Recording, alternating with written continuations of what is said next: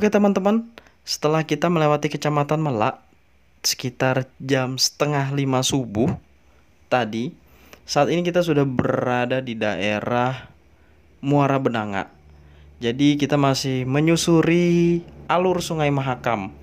Di sini teman-teman bisa lihat ada dua persimpangan. He, sebenarnya ini bukan persimpangan ya teman-teman. Yang di sebelah kanan saya ini terbentuk secara alami akibat pasang surut air maupun terkenanya gelombang, maka terkikislah pinggiran dari sebelah kanan saya ini. Dan terbentuklah belokan yang langsung patah seperti ini. Awalnya alur yang harus kita lewati itu harus lewat depan. Nah, depan yang kita lihat ini harusnya lewat depan nanti itu akan memutar di ujung dari sungai ini. Tetapi yang saya bilang tadi karena terbentuk secara alami, maka ini akan memudahkan kapal langsung memotong alur dan memangkas waktu tentunya ya, teman-teman. Nah, awalnya ini adalah pinggiran dari Sungai Mahakam. Tetapi akibat pasang surutnya air dan lambat laun ter, lambat laun terkena gelombang, baik gelombang kapal maupun gelombang dari kapal-kapal kecil, akhirnya terkikislah pinggiran sungai yang kita lewati sekarang ini. Jadi Sungai Mahakam ini teman-teman, kalau dilihat dari foto udara itu jalurnya berlika-liku dan nanti jalannya itu akan tembus juga di tempat yang akan kita lewati. Itulah yang membuat perjalanan via transportasi Sungai Mahakam ini begitu lama karena dia tidak seperti jalan darat yang langsung memotong kompas. Kalau alur Sungai Mahakam, dia berlika-liku. Belok ke kanan, belok ke kiri, nanti akan lurus, nanti akan ketemu tikungan patah seperti ini. Ya, itulah uniknya jalur sungai ya, teman-teman. Kita bisa lihat keindahan alam di samping kiri kanan kita. Di daerah Melak ke atas sekitar kita menuju ke Kecamatan Bering. Di sini juga banyak aktivitas kapal pengangkut batu bara. Biasanya ini kapal pengangkut batu bara itu dari Linggang Marimun. Karena di sana juga ada salah satu perusahaan e, batu bara yang menambang di daerah sekitar Linggang Marimun dan jetinya itu ada di Linggang Marimun. Biasanya kalau kapal yang daerah hulu itu biasa ada kapal tundanya takbut tundanya. Nah, itu ada di belakang tuh itu takbut tunda untuk mengawal e, tongkang yang berisi muatan agar dia tidak nabrak ke pinggir. Karena di semakin ke hulu alur sungai ini semakin sempit. Beda kita kalau dari arah milir dari arah Longbagun mau ke Samarinda itu sungainya melebar. Tapi kalau kita mau mudik istilah bahasa di sini itu mudik itu semakin ke hulu alur sungainya sempit Nah ini. Nah ini salah satu aktivitas pengangkutan batu bara. Nah itu takbut tundanya yang selalu menemani di belakang. Jadi tiap tikungan, tiap uh, ada persimpangan, pasti takbut tunda ini akan mengawal di belakangnya. Biasa diikat di belakangnya itu. Karena alurnya sempit, terus tikungannya juga tajam ya teman-teman.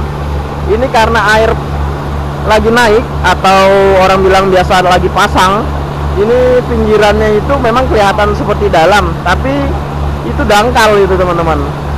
Jadi jangan sampai kapal itu kandas.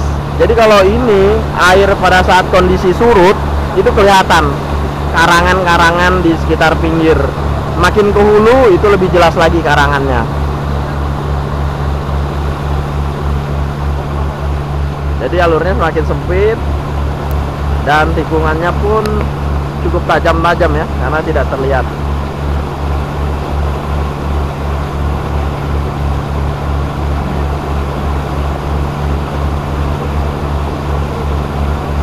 Oh ya sedikit info untuk teman-teman. E, kalau kapal dari Samarinda ke Longbagun pada saat posisi air surut itu biasa tidak akan sampai di Longbagun. Biasanya hanya sampai di Laham atau yang paling parahnya kalau air surut nya terlalu lama kemarau itu hanya sampai di Longiram saja kapal bersandar. Itu kalau kemarau panjang biasanya. Jadi kapal nggak sampai ke Longbagun nanti barang-barang yang ada di kapal ini itu akan diestafet dengan kapal kecil. Di estafet menuju ke hulu makam. Makanya itu kenapa harga bahan kebutuhan pokok di hulu makam itu besar atau mahal pada saat musim kemarau. Karena dari kapal besar taksi Samarinda Longbagun itu dioper lagi ke perahu yang lebih kecil.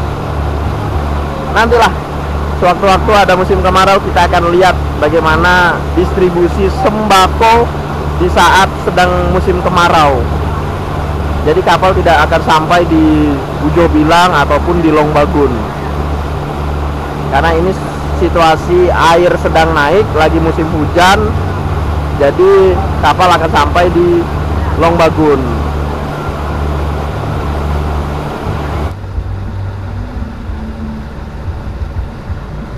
kalau makin ke hulu itu suasana alamnya itu masih segar ya teman-teman.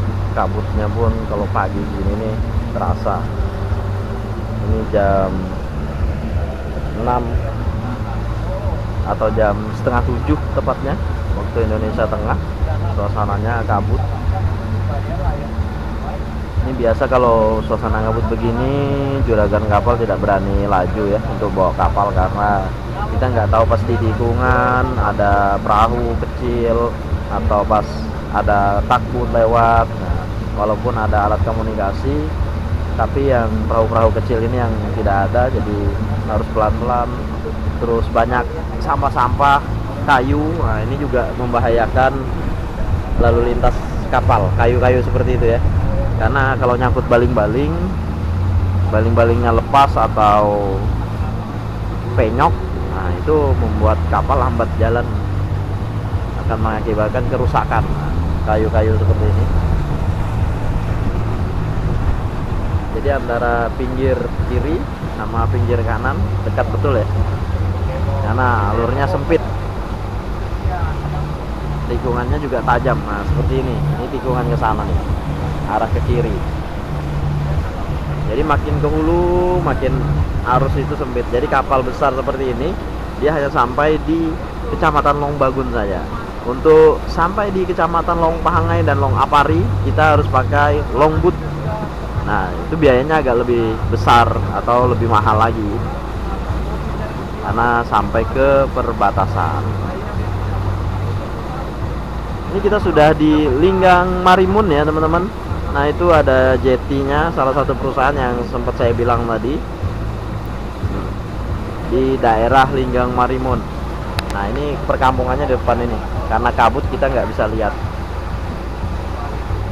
ini perkampungannya di sini Linggang Warimun ini kalau dipotong kompas ini tembus ke Kabupaten Kutai Kartanagara ke tepatnya di Kecamatan Ngenohan atau Kembang Janggut.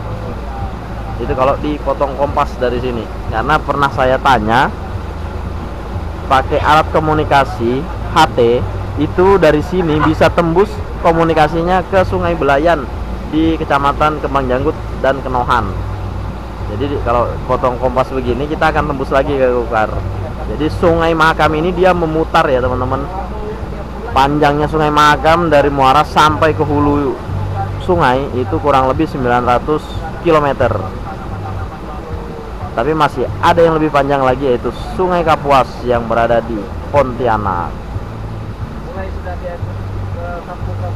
kalau kita terpanjang kedua setelah dari Sungai Pontianak. Jadi Sungai Mahakam ini terpanjang kedua dari Sungai Pontianak. Kalau Sungai Pontianak itu sebenarnya hampir 1000 km, kalau kita hanya 900 km untuk Sungai Mahakam ini sendiri.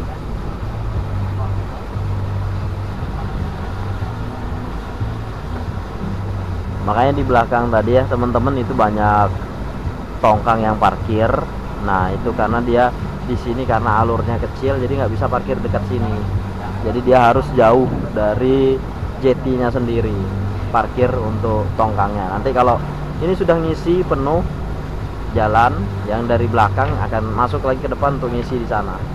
Di jetinya salah satu perusahaan tambang. Saat ini kita sudah berada di daerah Linggang Marimun. Nah di depan kita ini adalah satu salah satu konveyor di daerah Linggang Marimun milik salah satu perusahaan batubara yang beroperasi di daerah Linggang Marimun. Di daerah ini cukup banyak kaya dengan sumber daya alam batubaranya ya, teman-teman. Nah, biasanya di daerah ini juga kapal akan singgah atau mampir untuk menurunkan barang kiriman yang berasal dari kota Samarinda maupun kota Balikpapan. Karena akses untuk warga di sekitar pinggir Sungai Mahakam ini untuk mengirim paket atau barang lebih mudah dengan via jalur transportasi sungai seperti naik kapal ini. Ini nanti akan ada beberapa barang yang diturunkan di pelabuhan ini seperti spare part mobil maupun kebutuhan pokok untuk karyawan di tempat bekerja. Jadi dropnya lewat alur Sungai Mahakam yang dikirim melalui kapal taksi Mahakam.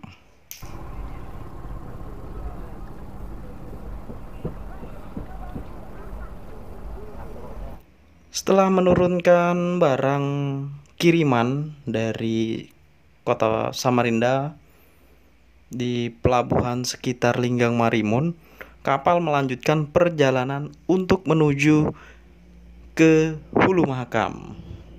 Jadi teman-teman bisa lihat di depan ini, di bawah saya itu ada beberapa box. Itu biasa diisi dengan ikan, bahkan bakso atau pentol daging itu dikirim melalui jalur Sungai Mahakam untuk ke wilayah Hulu Mahakam. Jadi untuk masyarakat di Hulu Mahakam yang ingin makan bakso atau pentol itu kirimannya dari kota Samarinda. Oke teman-teman, di depan ini adalah salah satu perusahaan pengumpul kayu log atau kayu bulat hasil hutan alam di daerah sekitar Kutai Barat. Jadi sumber daya alam di bumi Kalimantan Timur khususnya di Kutai Barat tidak hanya berupa batu bara tetapi banyak juga kayu-kayu bulat yang dihasilkan dari hutan alam Kutai Barat maupun Mahakam Ulu. Jadi, hasil alam yang berada di wilayah Kutai Barat diangkut menggunakan tongkang. Setelah diangkut menggunakan tongkang akan dibawa ke daerah kota Samarinda untuk diolah menjadi plywood. Jadi teman-teman ada dua ya. Kalau kayu yang meranti bulat, dia itu nggak bakal tenggelam. Dia akan mengapung di Sungai Mahakam. Jadi tidak perlu pakai tongkang. Tetapi kalau bukan kayu meranti, dia akan tenggelam. Maka akses satu-satunya untuk mengirim biasa memakai tongkang. Dan di depan itu adalah mes dari karyawan di sekitar perusahaan.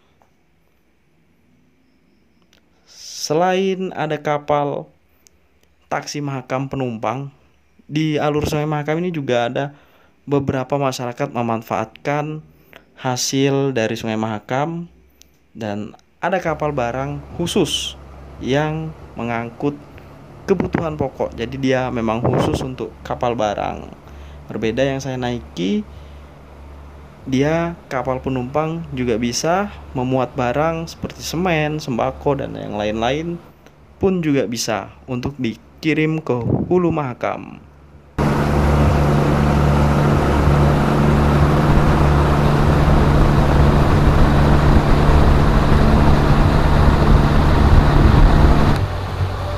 Jadi banyak lokasi jeti yang tidak terpakai oleh tambang-tambang sebelumnya ya. Contoh seperti ini ya teman-teman di atas e, di depan ini.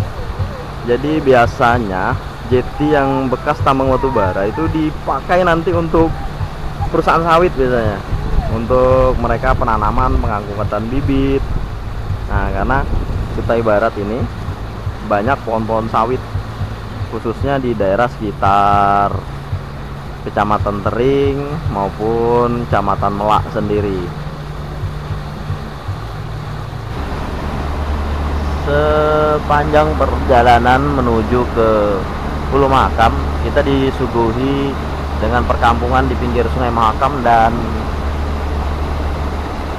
hutan-hutan yang ada di pinggir Sungai Mahakam pohon-pohon di kiri dan kanan kita terlihat banyak pohon makin ke hulu lagi kita bisa lihat para pencari ikan sudah mulai berangkat untuk bekerja.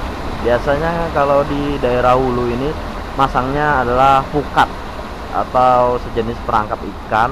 Nanti mereka tinggalkan besok pagi mereka akan lihat apakah ikannya banyak didapat atau enggak. Nah itu ada perahu kecil di depan itu. Biasa para pemancing jadi kapal harus melambat jadi kalau sampai lewat dari Melak itu udah pagi pasti kapal itu banyak lambat. Karena kenapa?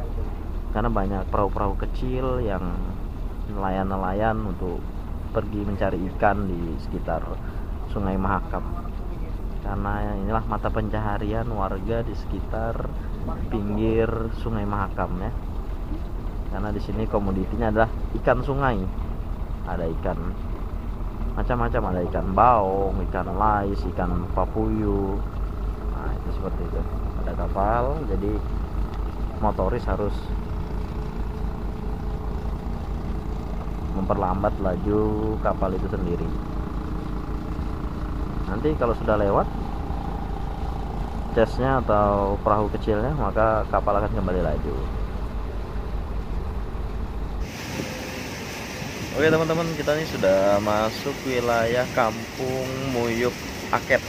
Nah, Kampung ini masuk wilayah kecamatan Tering Jadi kita tidak lama lagi nanti akan sampai di kecamatan Tering. Di seberang ini kampung Muyup Aket. Kalau yang di seberang ini kampung Muyup Ilir dan Muyup Ulu Tidak lama belok dari simpangan kita akan sampai di Kampung Tukul yang masih masuk wilayah Kecamatan Tering. Penghasilan warga di sini ada sebagian sebagai nelayan untuk mencari ikan, sebagian lagi bekerja di salah satu perusahaan batubara, tepatnya di daerah Kampung Tukul yaitu PT Kedap Saya. Dan sebagian lagi ada yang bekerja di perusahaan sawit milik Freeze Resource Group nanti kita akan melewati. Setelah tikungan ini kita akan sampai di wilayah Kampung Tukul. Untuk yang seberang ini ini Kampung Muyuk yang seberang ini adalah Kampung Muyuk Aket.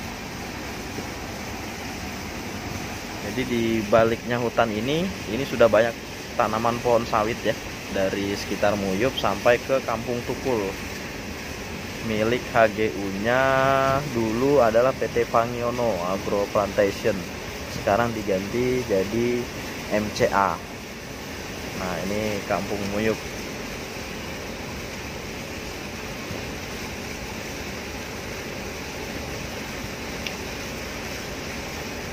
masuk dalam wilayah Kecamatan Tering. Jadi kalau warga kampung Muyuk dan kampung Tukul ingin pergi ke Tering biasa mereka memutar jalannya lewat kampung Tukul. Setelah itu nanti nyebrang pakai ferry menuju kampung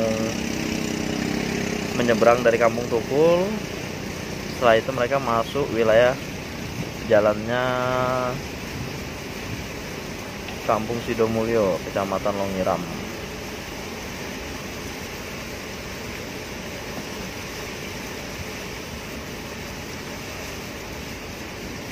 Dan ini ada persimpangan sungai. Inilah anak sungai ke Muara Batu yang masuk wilayah kecamatan Mokmanor Bulan. Nah, itu masuk kurang lebih memakan waktu sekitar satu jam lah dari simpang ini menuju ke kampung Muara Batu. Itu untuk yang jalur sungai. Kalau jalur darat mereka lewat Melak. Nanti dari Melak nyebrang ke kecamatan Manor Bulan. Baru memutar. Dulu sih sempat dikatakan jalannya udah cor kalau yang ke Muara Batu. Tapi kalau yang daerah Muyup sama Kampung Tukul ini belum ya. Jalannya masih berupa tanah.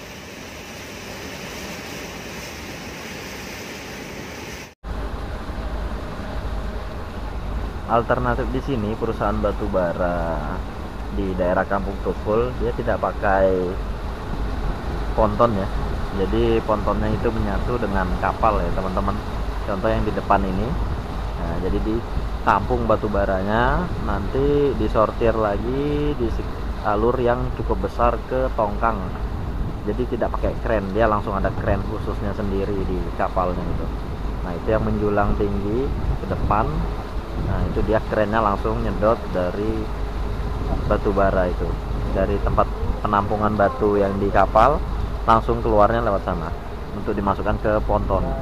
Jadi kelihatan sungainya ini lebar ya teman-teman. Tapi kalau udah musim kemarau itu terlihat dangkal di sini. Makanya alternatif satu-satunya perusahaan di sini untuk transportasi batu baranya untuk dikirim ke pelabuhan atau laut itu harus pakai kapal yang langsung satu seperti ini. Jadi itu conveyor beltnya Oke teman-teman, ini kita sudah sampai di Kampung Tukul. Kampung ini masih masuk wilayah Kecamatan Tering. Nah, ini adalah salah satu pelabuhannya. Dulu nih ada rakit di sini, sekarang entah ke mana ini rakitnya. Kok nggak ada. Dulu kalau mau naik kapal itu biasa di sini. Karena ini bangunan kantor BPU, terus di sana itu SD, kita berada di Kampung Tukul. Nah, ini perusahaan yang saya bilang tadi. Dia transfer batu baranya pakai kapal sendiri yang tergabung dengan pontonnya. Jadi dia tidak terpisah. Nah, ini nama PT-nya adalah PT Kedap Saya. Mereka menambang masuk ke dalam, jadinya berada di wilayah Kampung Tukul perusahaan ini berbatasan dengan HGU-nya perusahaan sawit ya yang saya bilang yaitu anak perusahaan dari Freeze Resource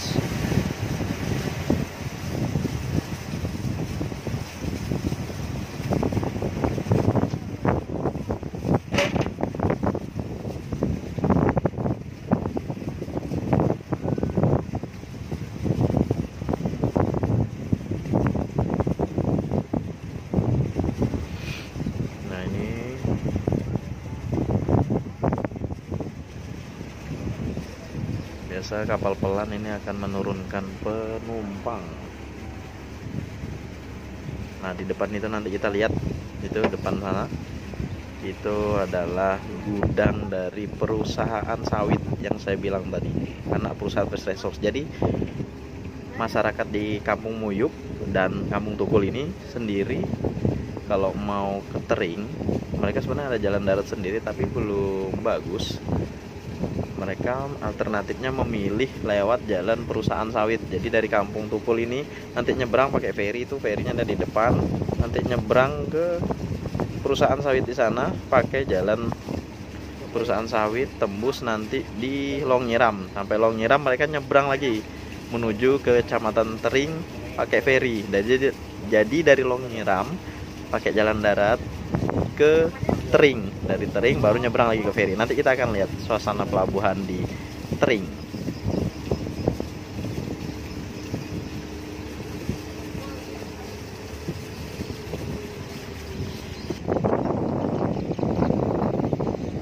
Suasana aktivitas masyarakat Kampung Tukul di sini nih listriknya bukan listrik PLN ya teman-teman. Jadi mereka ini pakai listriknya listrik desa jadi mereka beli genset terus dikelola oleh BUMDes atau badan usaha kampungnya sendiri baru dialirkan ke masyarakat. Jadi kampung di wilayah Kutai Baratnya sebagian saja yang masih dialiri dialiri aliri listrik sebagian lagi belum. Jadi mereka swadaya dengan dana ADD alokasi dana desa atau alokasi dana kampung. Nah, ini ada yang turun di kampung Tukul. Nah itu yang di depan itu saya bilang perusahaan sawit. Yang biasa dipakai jalannya untuk masyarakat Kampung Tukul menuju Kecamatan Tering. Ini ada yang turun ya teman-teman.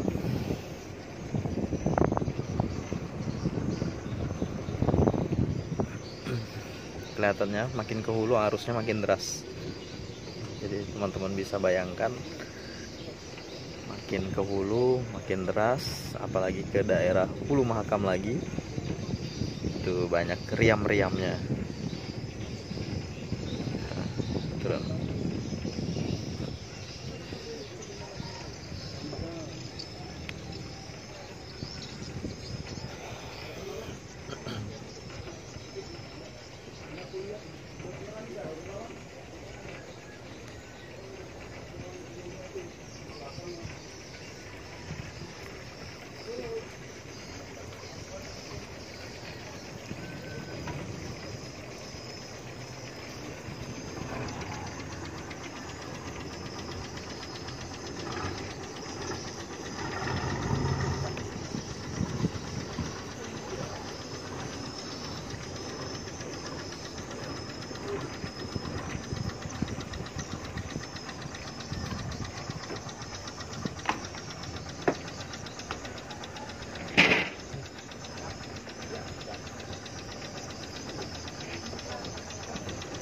Nah itu penumpang yang tadi malam naik dari Melak.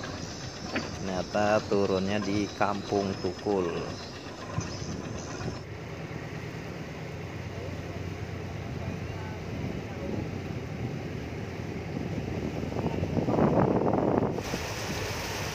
Nah itu ferry untuk menyeberang dari Kampung Tukul menuju perusahaan sawit. Nah itu nanti nyeberangnya ke sana tuh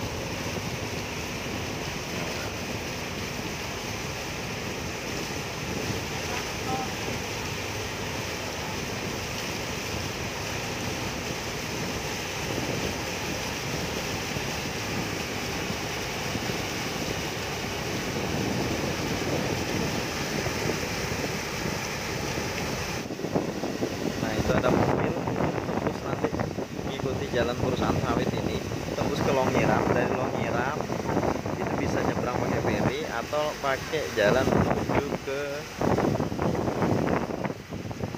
kampung seberang. Longiram atau bisa lewat Tering seberang. Tapi kalau untuk mobil itu susah. Biasa nanti mereka nyebrang di Longiram kota itu. Naik ferry. Ya. Jadi akses satu-satunya paling mudah mengikuti jalan perusahaan ini.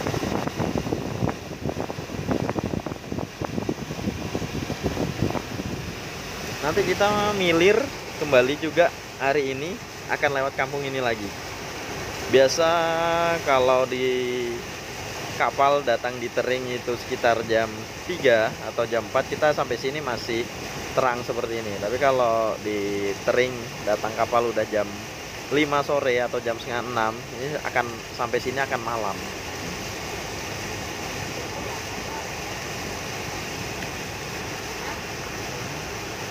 Oke teman-teman setelah meninggalkan Kampung Tukul kita lanjut perjalanan. Nanti setelah Kampung Tukul ini kita akan langsung sampai di Kecamatan Tering pusat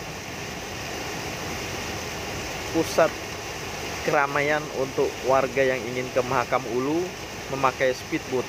Nanti kita akan lihat seperti apa keramaian dan aktivitas di sekitar pelabuhan Tering